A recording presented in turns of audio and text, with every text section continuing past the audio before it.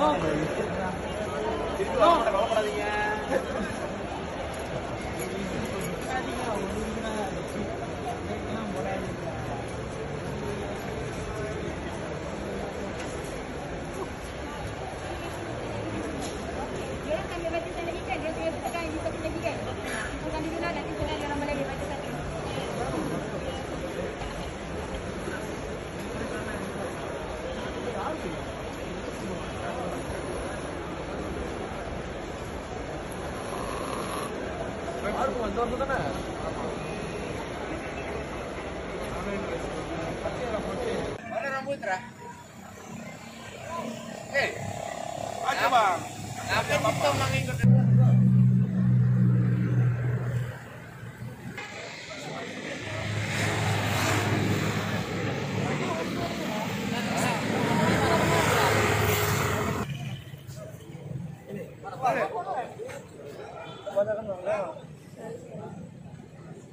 Berapa bang? 481 481? Ya Kak dari Malaysia ya? Iya. Baru pulang? Baru sampai hari ini? Bukan, apa 9 ini? Ini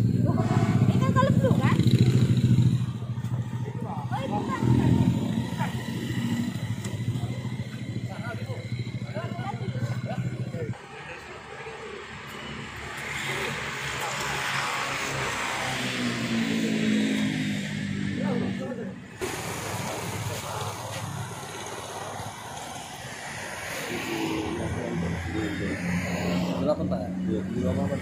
78 49. 78 49.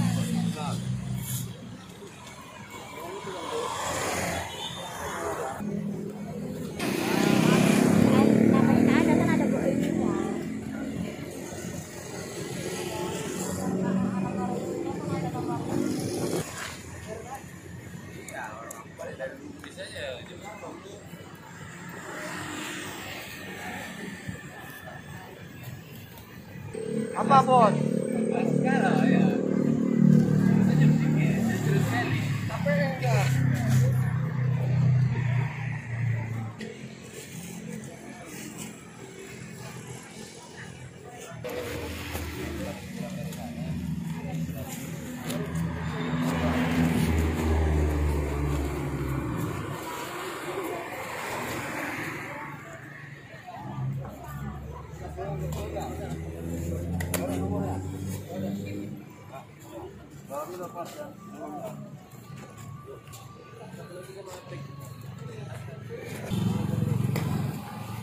Eh, eh, sorry, sorry.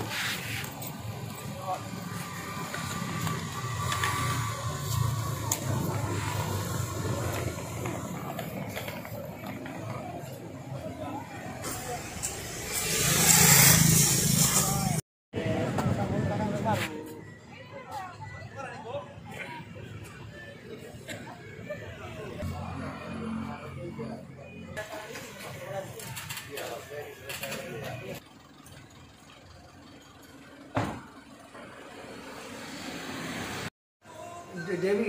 Dewi ya Dewi Pulang dari Malaysia? Ya. TKI ya? Enggak, Jadi?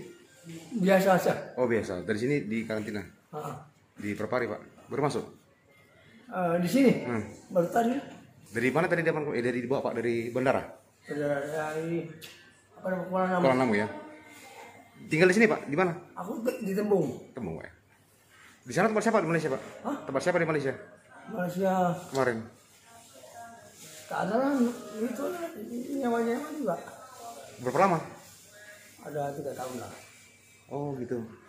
Warga negara Indonesia di khusus di pintu masuk Kuala- Bandara Kuala Namu. Sampai sejauh ini seba- sudah seberapa banyak datanya yang Bang? Seperti apa bang? Baik, eh, terima kasih eh, Mas Yoga dari eh, TV One dan rekan-rekan media. Eh, sesuai dengan arahan pimpinan untuk memberikan informasi terkait dengan kedatangan eh, warga negara Indonesia yang ada di Sumatera Utara khususnya melalui eh, Bandara Internasional Kuala, Kuala Namu. Eh, perlu kami informasikan bahwa semenjak adanya surat edaran eh, nomor 2034 tanggal 30 Desember 2020 yang lalu terkait dengan penutupan sementara masuknya warga negara asing ke wilayah Republik Indonesia. Dan eh, khusus di Bandara Internasional Kuala Namu eh, kita sudah eh, mendaratkan kurang lebih 9 penerbangan dengan jumlah kedatangan eh, 636 warga negara Indonesia dan sekitar 10 warga negara asing dari eh, 9 penerbangan yaitu mulai tanggal 2 Januari sampai dengan eh, tanggal hari ini yaitu 11 Januari 2021. Untuk penerbangan sendiri Pak merupakan penerbangan uh, umum bisnis atau seperti apa mungkin tadi yang kedatangan tadi Pak? Nah, ini adalah penerbangan unscheduled, artinya penerbangan charter flight dari eh, Malaysia, Kuala Lumpur, Penang dan dari Singapura.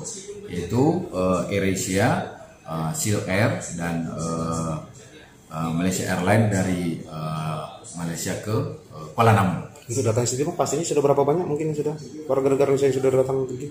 Yang sudah kita daratkan eh, berikan clearance pendaratan masuk ke Indonesia melalui Bandara Kuala Namu adalah eh, sekitar 636 orang. Ya, periode 1 Januari eh 2 Januari sampai dengan eh, hari ini. 9 Januari. Ya, sampai dengan tanggal 9 Januari.